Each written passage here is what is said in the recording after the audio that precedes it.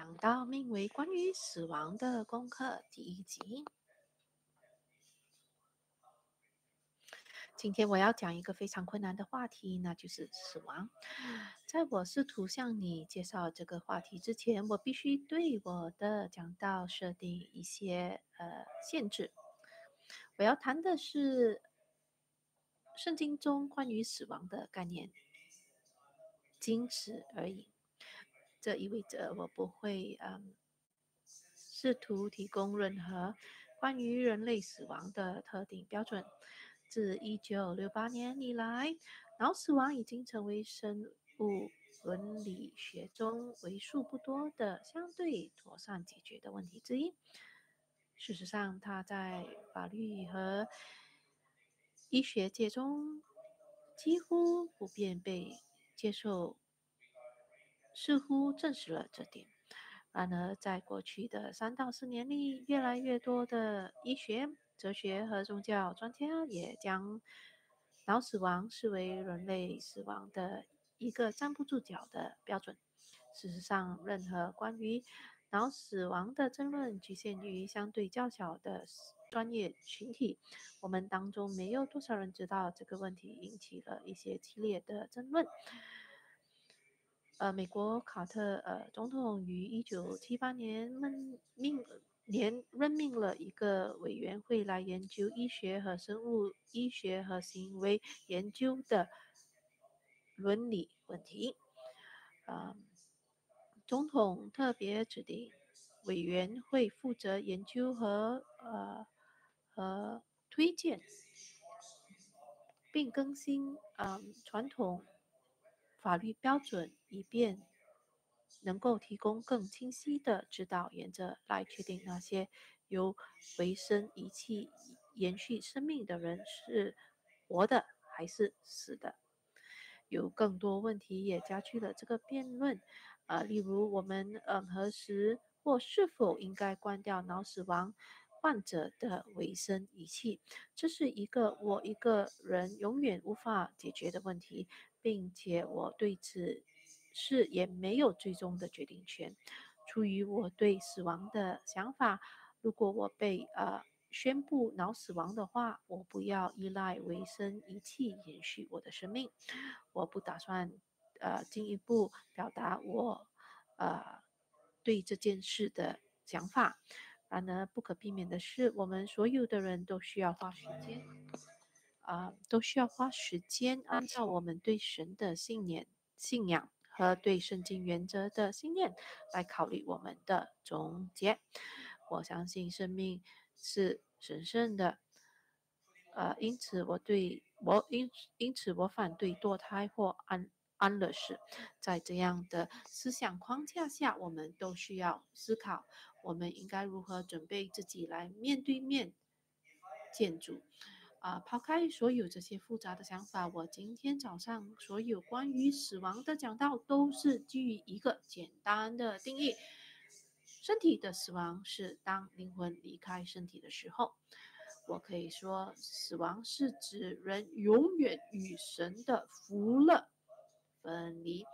我我们必须仔细考虑这句话：人永远与神的福乐分离的这句话。因为我没有简单地说死亡是指人与神分离，而是与神的福乐分离。人无论是生还是死，都无法逃避神的存在。人要么是在主里主里永恒的福乐中，要么就是在永恒的折磨中。但是人的存在是。不会永远没有神的，这永恒的关系和神在他与人的关系中，为我们对死亡的理解提供了更重要的意义。这是因为即使是死亡，也不会将我们从他面前带走。神是活人和死人的主宰。这个讲道需要我们有深刻的圣经和神学思想。这意味着一个全面不能够在一个讲道理完的。我将在几周后继续这个信息。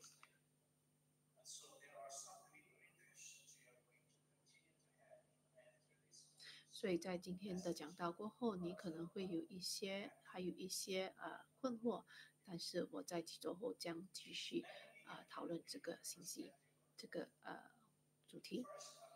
首先，我将一个简单的，我将由一个简单的事实开始，那就是人都会死，这是任何人都无法否认的事实。有大量的呃圣经见证和例子来证明死亡是普遍的。传道书第三章第二节：生有时，死有时；栽种有时，拔出所栽种的也有时。希伯来书第九章第二十七，按着命，按着按照定命，人人都有意思，死后且有审判。诗篇第八十九第四十八节，谁能长活免死，救他灵魂脱离阴间的权柄呢？格林多前书第十五章第二十二节，在亚当里众人都死了。照样在基督里，众人也都要复活，人都是会死的。看看啊，圣经人物中的几个例子。以撒在创世纪第二十七章第二节告诉以扫他即将死去的事。他说：“我如今老了，不知道哪一天死。”生命记第三十一章第十四节，耶和华对摩西说：“你的死期。”临近了，要招约书亚来。你们两人站在会幕里，我好吩咐他。这里耶和华告诉摩西，他即将要死了，所以要呃为下一下一个呃呃领导啊呃做准备。再来，大卫知道死亡即将到来。所以在呃《列王记上》第二章第一节，我们读到大卫的时期临近了，就吩咐他儿子所罗门。同样的，我们所有人都将面对在世上旅途的终结，即是死亡。可能对呃年轻人来说，这可能不是太过的呃现实，也不是他们呃想要呃思想的话题。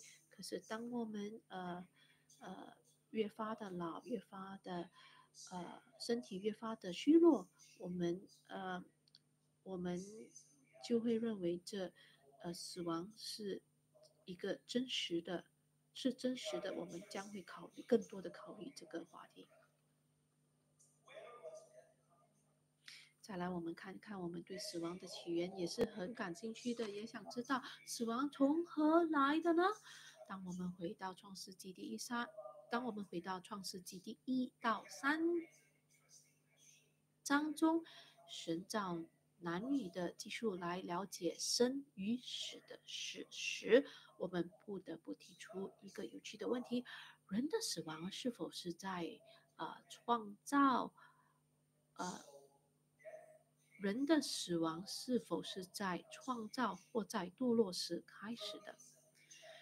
从这些啊章节中，我们都知道并承认人因罪而死。根据创世纪第三章，人的死是堕落的直接影响。呃，亚当和夏娃犯罪后，在生理上仍然延续，这也是一个事实。即即便在创世纪第二章第十七节，他们被告诫：“你吃的日子必定死。”神对他们说：“你吃的日子必定死。”但是当他们吃的那一天，他们并没有死。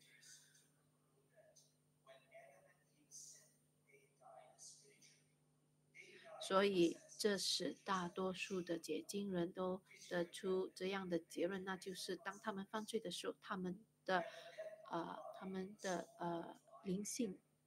他们在灵性上死了，他们的死是灵性上的，是与神分离的意义。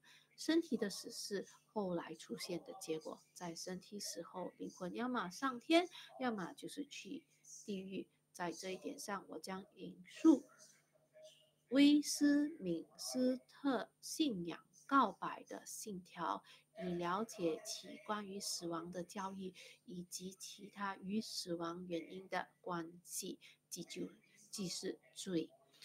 啊，威斯敏斯特信仰告白第四点二章第四章第二节，上帝造了一切其他被造物之后，就造了人，造男造女，他们拥有理性的与不朽的灵魂，又本着自己的形象赋予他们知识、仁义。和真圣洁，有上帝的律法写在他们的心里，且有履行律法的能力。然而，人处于有可能干犯律法的状态中，上帝也让他们按照自己的意志行事，所以这意志是会改变的。除了他这在他们心中所写下的律法以外，他们还领受不可吃分别善恶树上的果子的命令。他们遵守这命令时，这就能享受与上帝相交，以此为乐，又能统治被造之物。所以在这节里头。我们需要考虑以下的几点：第一，就是神创造了具有理性的以及与不朽的灵魂男女，这肯定了人的灵魂从一开始就是不朽的。第二点就是神的律法写在他们心里。这意味着他们的灵魂和身体都受到写在心里神的律法的影响，他们也有履行律法的能力，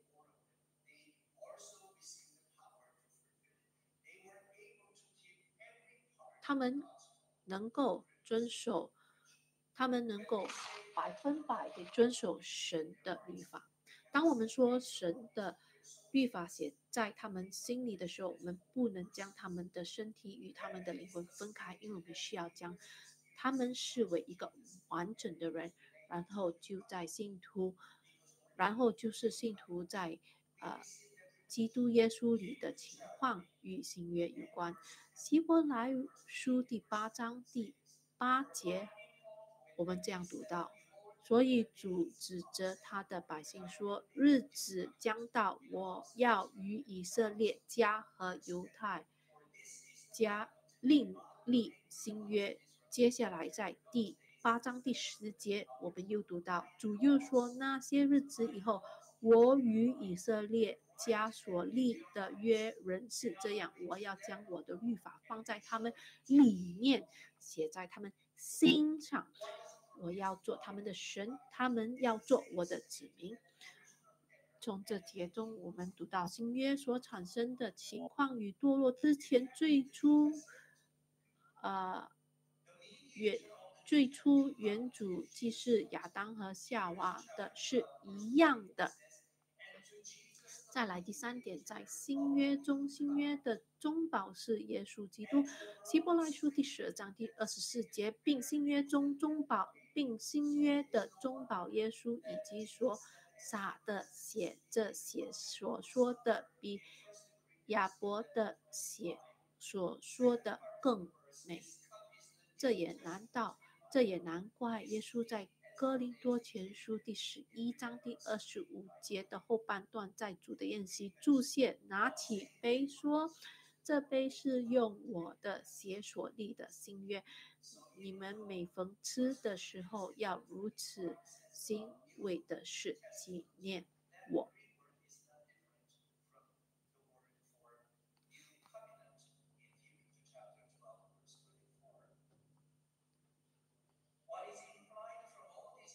从所有呃考虑的这几点中，我们可以看出神在最初创造。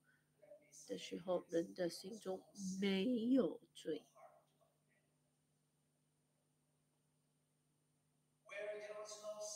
没有罪就等于没有死亡。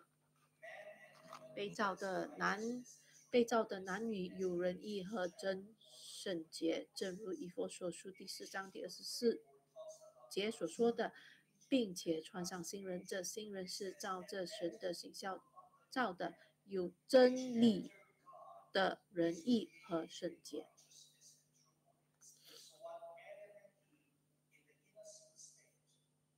所以，呃，亚当和夏娃之前有的仁义和真贞洁，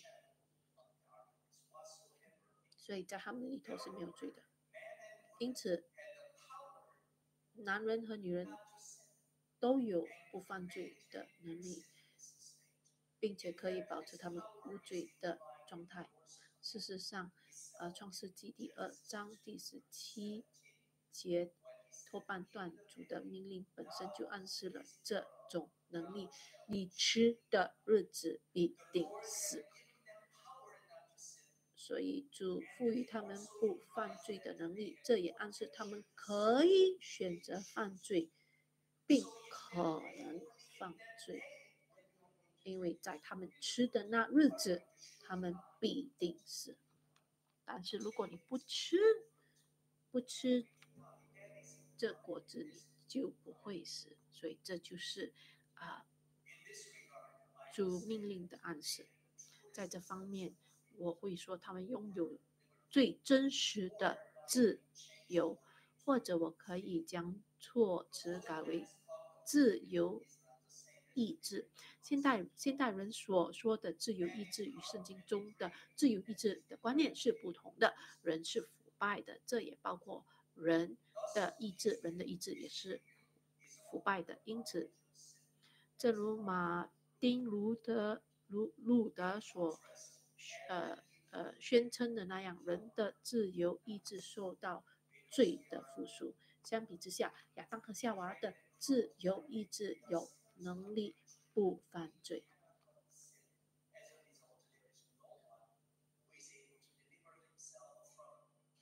我们呃。大家都是罪人，所以我们不能不犯罪。这也就是为什么我们不能呃自救。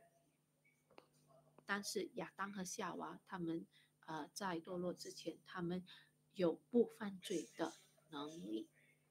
再来，我们继续看呃呃威斯敏斯特信仰告白第六章第一到第六节，呃。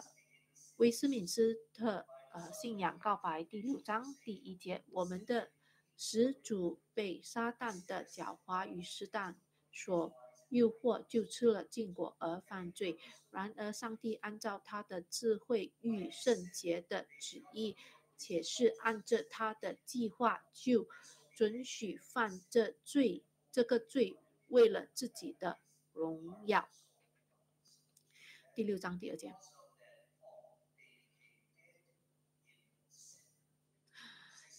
因此，最使他们从原本自公义、能与上帝相交的地位中堕落了，于是死在最终。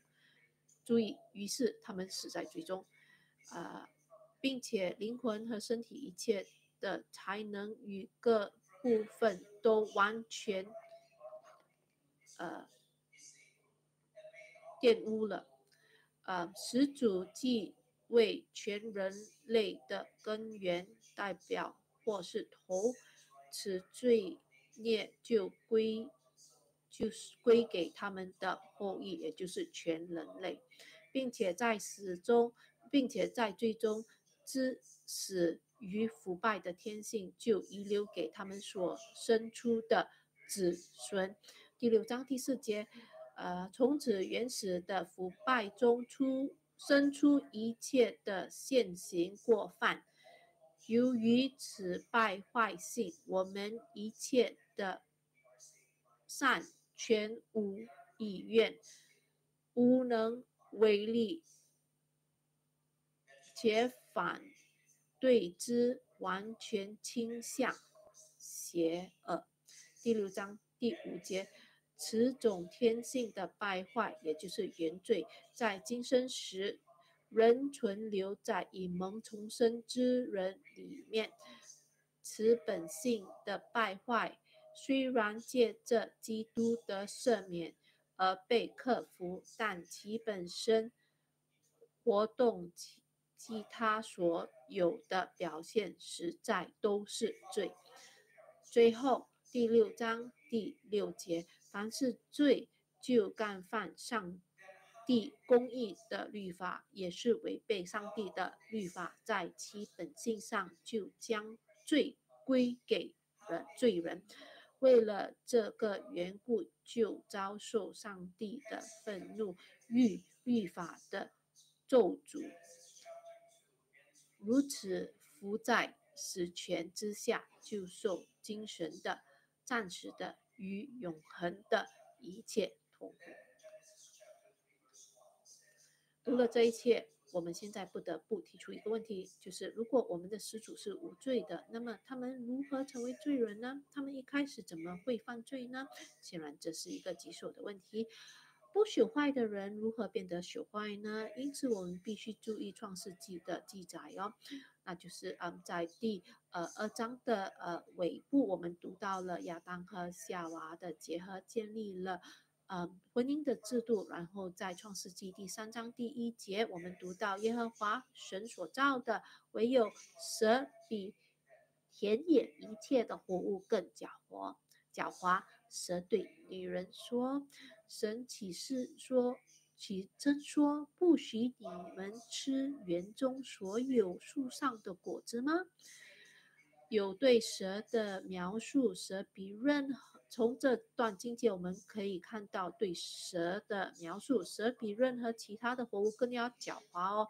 神扮演了试探的试探人的角色，我们必须记得，就是当时人是富于仁义的，撒旦撒旦不并不能直接入人的心哦，撒旦一定是要从外面进去，呃，需要从外面呃来攻击的。如果我们读第三章关于试探的记载的话，我们就会发现对蛇进一步的描述哦，那就是蛇能够与啊夏娃交流。我不可能知道啊蛇的交流或语言的呃种类或性质，但是我知道蛇和夏娃之间进行了交流。让我惊讶的是，夏娃似乎不觉得蛇对他说话有什么奇怪，因此我认为对他而言，这并不是非凡的经历。我还要假设这条蛇与我们今今天所知道的蛇是不同的，因为神在创世纪第三章第十四节惩罚了蛇。我们这样的读到，耶和华神对蛇说：“你既做了这事，就必受咒诅。”比一切的性处野兽更甚，你必用肚子行走，终身吃土。是受了惩罚，改变了行走的形式，用肚子行走，一生都得吃泥土。这不是他，这就告诉我们，这不是啊，现在所看到的蛇不是它原本的特征，而是神呃咒诅它的结果。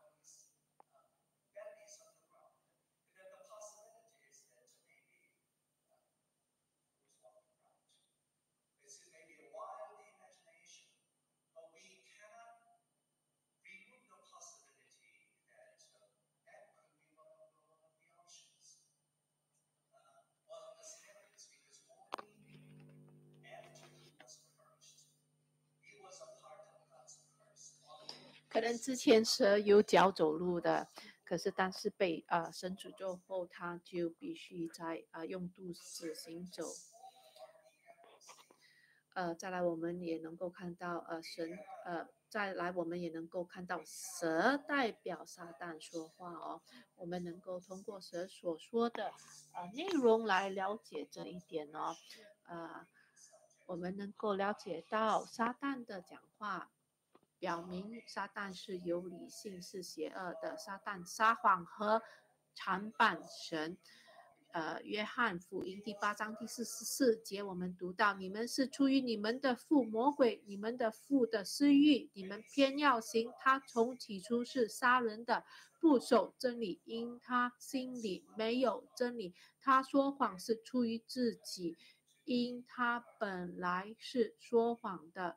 他也是说谎之人的父。撒旦在神的身上向夏娃撒谎。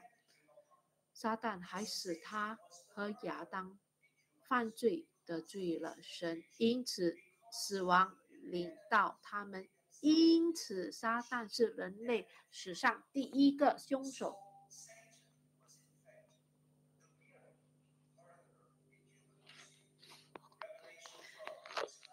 因此，嗯，呃，撒旦是人人类史呃史上第一个凶手哦。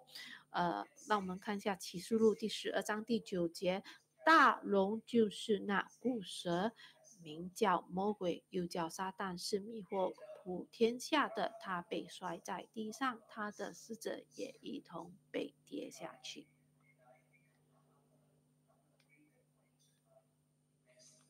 还有呃，还有呃几个关于呃蛇的呃蛇的嗯。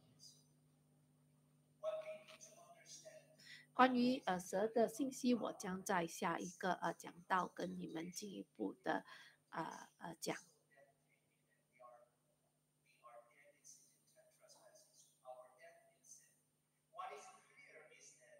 我们需要明白的是，在最终的呃意义哦很清楚，嗯，这时是罪的公价，因为是临到亚当和夏娃身上，正如呃创世纪。第二章第十六到十七节中主所说的话，耶和华吩耶和华神吩咐他说：“园中各样树上的果子你可以随意吃，只是分别三恶树上的果子你不可吃，因为你吃的日子必定死。”亚当和夏娃不守诫命，其后果就是死亡。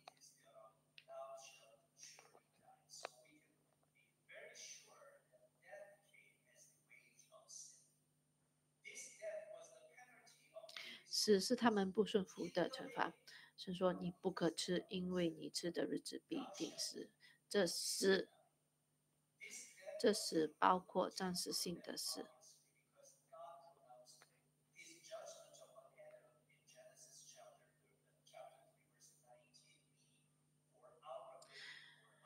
呃，这是包包括暂时性的事，因为神在创世纪第三章第十九节后半段中宣。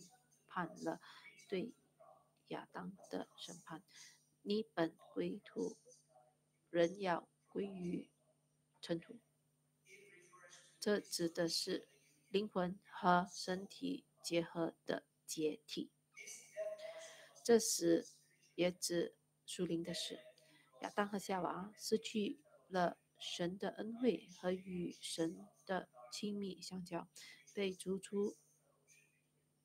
伊甸园，伊甸园也就是神与人相交的地方，就在我们的始祖犯罪的那一天，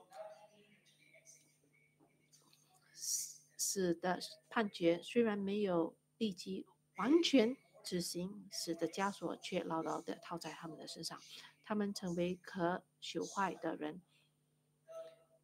身体变得败坏。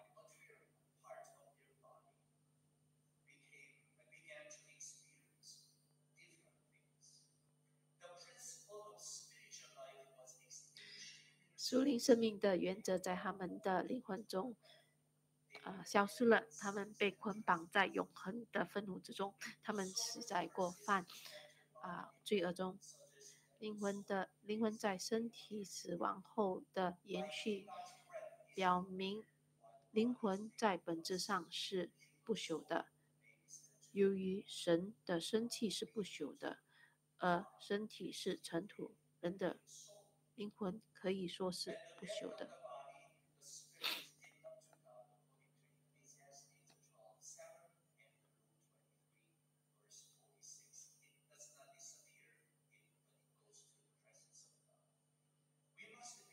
我们必须注意更呃，我们必须注意到更多的细节哦，就是人，呃，归于尘土，指的是他，啊，肉肉身体的死亡，这是堕落之后对人的审判。那么自然的，那么我们自然就会问，亚当原本的身体是不朽的吗？或者只是因为后来的罪才变得朽坏呢？这个问题一定会使我们的，使我们头昏脑胀。例如，呃，G. Bush 这样说到，啊，当呃始祖违背神的诫命的时候，他们立即成为可朽坏的人，受限于虚弱和死亡。根据他的观点，人的身体在创造之时是不朽的，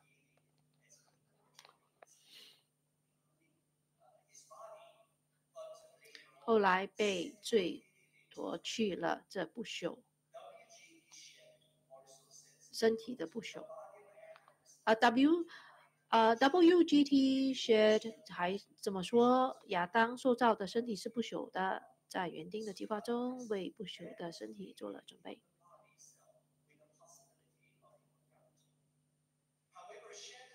然而，呃，Shad 认为这种不朽的特征的特殊之处是，这特征是容易失去的。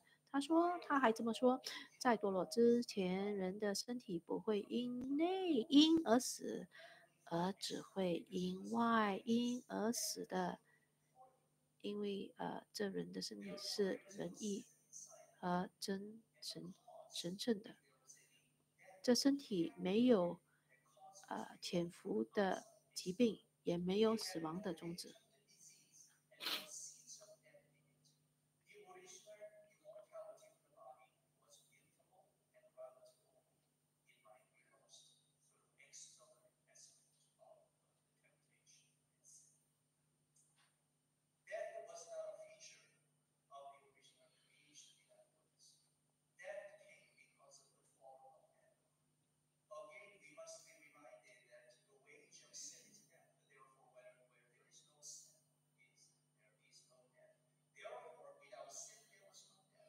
死亡不是最初啊创造的特征，死亡是因为亚当的堕落而来的。我们必须再次被提醒哦，罪的工价乃乃是死，因此没有罪就没有死亡，在堕落之前没有罪，因此可以说亚当的身体一开始就是不朽的。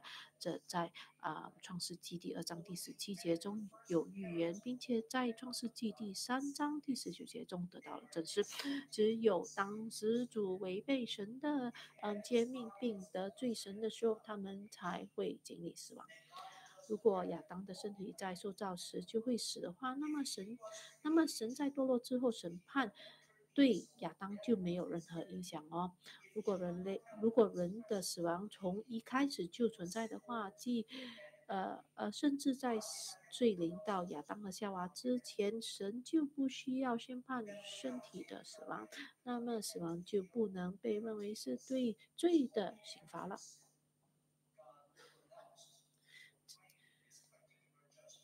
神只有在啊亚当啊犯罪之后，才对他做出审判。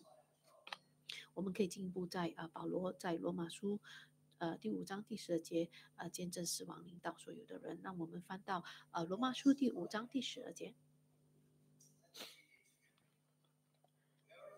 这就如罪是从一人入了世界，时又是从罪来的，于是死就临到众人，因为众人都犯了罪。阿妹，这经节肯定并证实了罪的工价乃是死的真理。我们读到，如罪是从一人入了世界。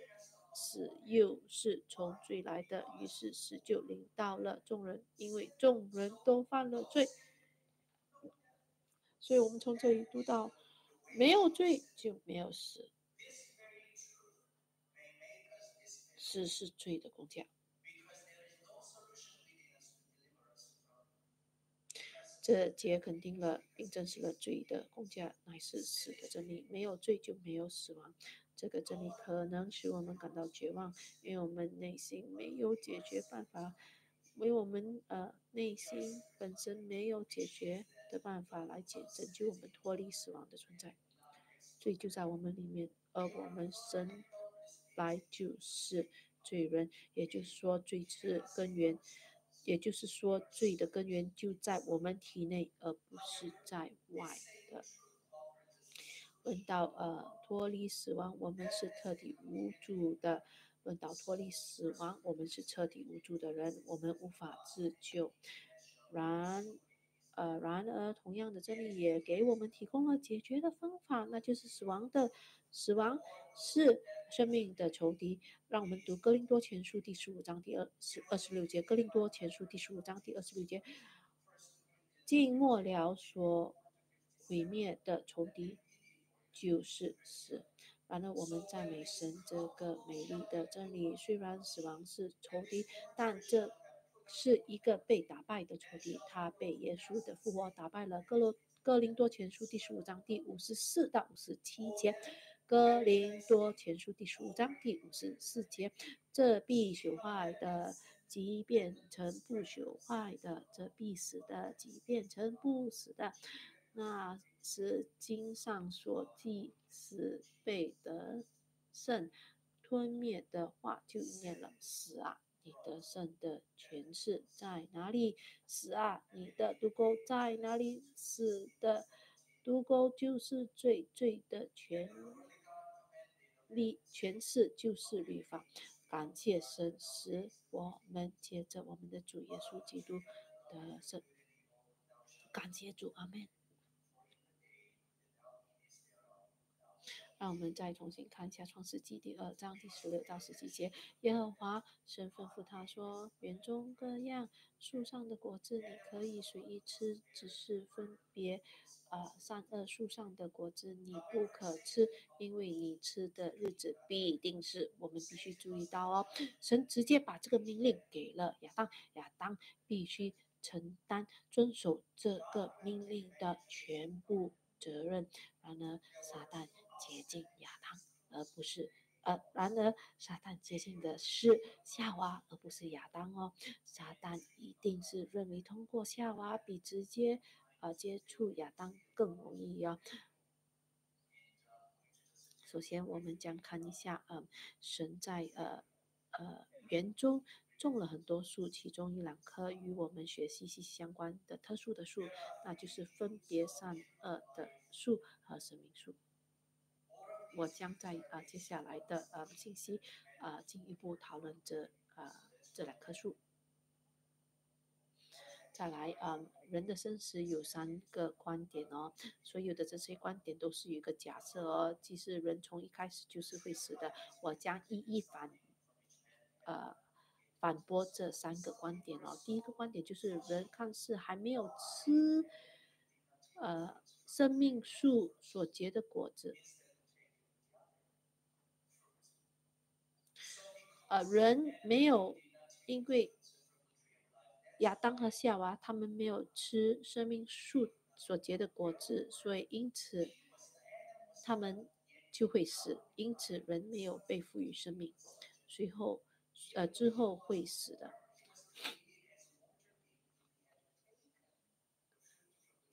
所以这个假这个这个假设就是呃呃，他们这个观点就是说。呃，就是说，呃，他们有不朽的身体，是因为他们吃了呃生命树的果子。这个观点认为，如果人吃生命树上的果子，他就不会死。这种观点假定，呃，从一开始就注定要死，所以他不死，完全是因为吃了生命树的果子。这种观点与呃圣经中关于神的公价是罪的交易相悖的。呃，亚当和夏娃的亚当和夏娃的宣判是死亡，不是因为他们没有吃生命树的果子，而是因为他们犯罪得罪了神，罪带来了死亡。所以我们不能说亚当和夏娃因为没有吃生命树的果子，而，因此没有生命，因此会死。所以这个观点是不对的。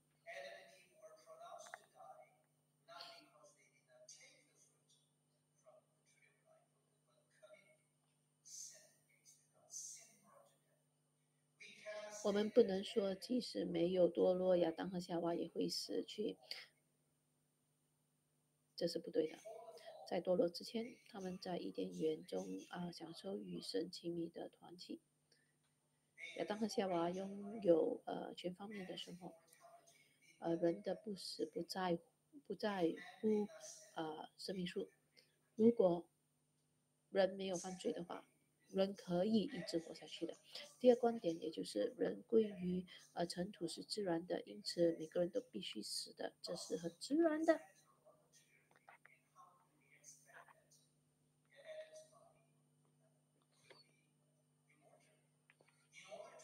为了理解这个观点不可能是真的，我们必须回到创世纪第三章第十九。你本是呃尘土。人要归于尘土，这是一个诅咒哦。这个是堕落后对亚当的刑罚或诅咒哦，不是在啊堕落之前哦。这是因为他堕落，他得罪了神，他没有遵守神的命令，所以神给他的刑罚就是你本是尘土，人要归于尘土。换句话说，亚当归于尘土是他犯罪的结果，而不是他原来的状态哦。如果说亚当因为从土而出就必须归于尘土是自然的话，那么他在堕落之后归于尘土就根本没有任何诅咒的因素了。呃，创世纪第三章第十七到十九节呃记述了这诅咒。创世纪第三章第十七节又对亚当说：“你既听从妻子的话，吃了我吩咐你不可吃的那棵树上的那树上的果子，地必为你的缘故受呃咒诅，你必终身劳苦才能从地里得吃的，地必给你长出荆棘和棘藜来，你要。”你也要吃田间的菜蔬，你必汗流满面才得糊口，直到你入了土，因为你是从土而出的，你本是尘土，仍要归于尘土。亚当是主所。造之物的管家，包括大地和大自然。堕落之后，他失去了对受造物的管辖权。尽管大地继续产继续产出亚当所需的，但是他必须终身劳苦才能从地里得吃的。所有这一切都是罪的后果。亚当，呃，归于尘土，并非因为他被造为可朽坏的，反而是因为罪。随之而来的便是死亡。死亡是人的自然和物质构成上的改变。死亡并不是这种自然的物质构成的必然结果。创世纪第二。章第十七节中的死亡威胁意味着罪将使他，呃立呃第三个观点，也就是呃死亡威胁意味着罪将立即或过早死亡，因为呃呃这些人认为在创世纪第二章第十七节他们这样的读到，因为你吃的日子必定是这种观点认为，因为主警告你吃的日子，所以这种死亡是指瞬间。或者是过早的死亡，然而这不是理解主警告的明智方法方式。亚当和夏娃在吃了呃在吃了不可以吃的果子之后的那天并没有死，他们没有瞬间或过早的死。在这种情况下，这个表达可能意味着是肯定的意思，他们肯定会死的意思。到目前为止，我们已经看到了三种关于死亡的原因，呃，常见的观点，并啊驳斥了全部的这三个观点。第三，呃，生命树呃，并不是要赋予亚当和夏娃生命的。我认为这个思想与人的朽坏和不朽的观念有关。正如我们之前所讨论过的，嗯，罪的工价乃是死。曾经有一段时间，人里面没有任何会导致死亡的东西。我是指在堕落之前的时间。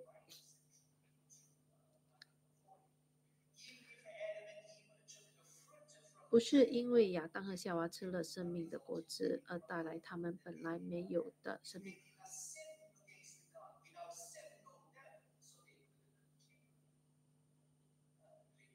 没有罪就没有死亡，所以他们就可以继续的生命。他们有生命是没有死亡的。生命树的存在可能暗示至少是件事。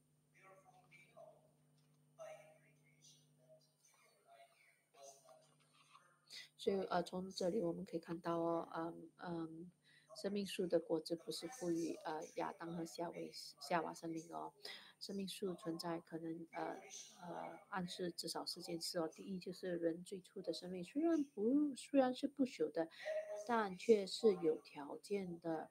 这就是主在创世纪第二章第十七节告诉他们死亡的可能性的原因。只要他们顺服神，不违背他的诫命，他们就可以在身体和灵魂上不断地活着。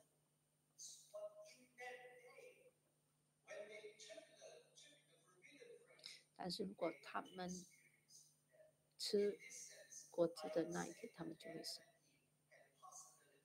所以从这个意义上，我说亚当和夏娃有会死和不死的可能性。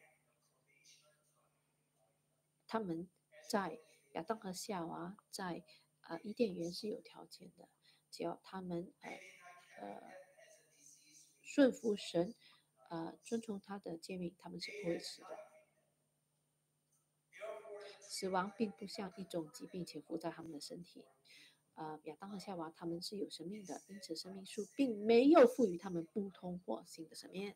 相反的，我会说这棵生命树可以证实人不朽的状态。第二个就是呃，生命树的果子是一种享受，也是对生命呃祝福的纪念。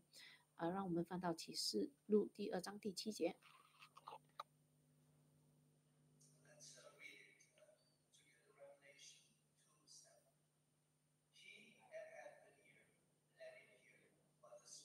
启示录第二章第七节，呃，圣灵向众教会所说的话，凡有耳的就应当听。得胜的，我必将神乐园中生命树的果子赐给他吃。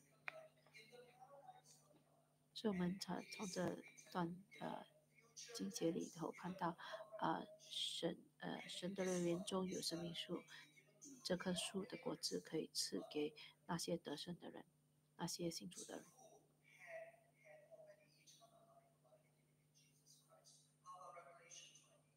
所以这呃，这果子是给那些在啊呃耶稣基督里头得胜得永生的人可以吃的果子。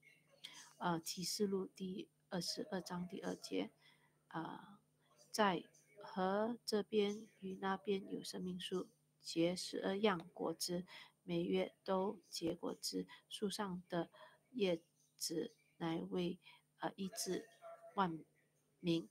启示录第二十二章第十四节，那些洗净自己衣服的有福了，可得权柄，能到生命树那里，也能从门进城。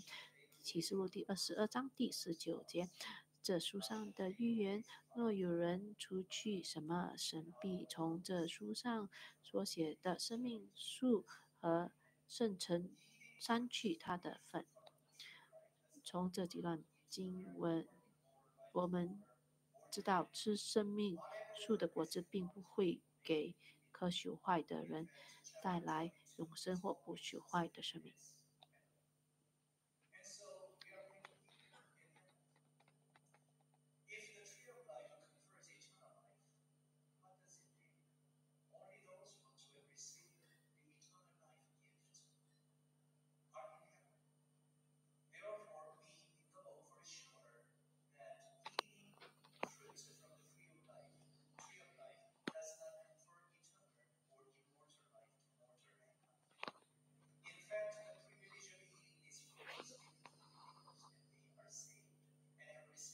事实上，吃这果子的呃特权是赐给呃信徒的，只因为他们相信和信靠耶稣基督而得救并得到永生的，而不是从呃呃生命树上的果子的永生的，而是他们而是信靠并相信耶稣基督呃而得救并得到永生的。生命树可以与呃圣餐或教会的交易相比哦。嗯，H.C. 呃，Leopold，Leopold 这么说道，在圣礼中，啊，有形的工具凭借神圣的话成为神圣恩典的载体，因此在这里借着神圣的话，将一棵树指定为生命之树。当我们在主的言行领受饼和杯的时候，他们象征着主耶稣基督的身体和保险。他们虽然不是耶稣的真正身体和保险，但是如果一个人无视饼和杯的神圣性的话，不按理吃主的言行的话，他就会被告。他被告警告其后果。同样的，生命书也有呃礼仪的意义，呃。亚当和夏娃因为他们的罪而不能吃生命树的果子，以及最终在新天新地中所有时代的圣徒和先知吃生命树果子的特权，将得到恢复和实现。这也就是为什么，呃，亚当和夏娃他们在。在呃犯罪之后不能吃呃呃生命树的果子，所以我们可以呃肯定的就是罪人是呃被禁吃生命树的果子，所以亚当和夏娃啊呃只有信徒才可以吃生命树的果子。我们可以肯定的就是罪人不能吃。生命树的果子，只有信徒才能吃生命树的果子。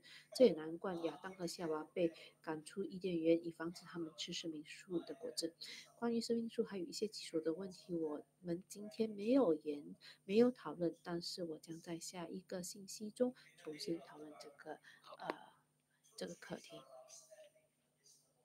在伊甸园的中央里头有两棵树，在所有的呃植物中显得格外的突出。亚当和夏娃可以吃所有树上的果子，只是分别三棵树上的果子不可以吃。然而，他们违背了主的命令，吃了不可以吃的果子，得罪了神，这罪给他们带来了死亡。他们也不允许再吃呃生命树上的果子，并且将他们放留在必死的。历史之地，在创世纪第三章第二节，他们曾经可以吃这生命树的果子，但是在创世纪第三章第二十二，他们堕落之后就不允许他们再吃生命呃树的果子。他们呃呃，所以呃身呃在此之后，身体和灵魂的死亡都降临在人的身上，没有人可以从他的身上除去死亡的力量，因为死亡就在。人里面的救或从死的权利中解脱的帮助，必须来自外在。谁能拯救我们脱离死亡的呃凶猛呃权势呢？耶稣基督的死与复活是人无法想象的神圣的奥秘。但神的儿子来到了这个世上，死了又从死里复活，这也是我们将在复活节回忆。呃，时间时考虑的信息。耶稣是解决死亡在人里面的答案。我们同时也要，也要呃，也要注意到啊呃罪的诠释，呃亚当和夏娃是如何变得能朽坏的，这也就是我们必须要考虑的。那就是耶稣是耶稣是解决死亡的答案。我们要记得死，死夺去了生命。我们必须记得，呃，死的工价是死是罪的工价。我们必须知道，呃，耶稣基督是答案，因为耶稣是道路，耶稣是真理，耶稣是生命。唯有通过主耶稣基督，才能来到啊、呃、天父的面前，让我们啊仰望神祷告低头祷告。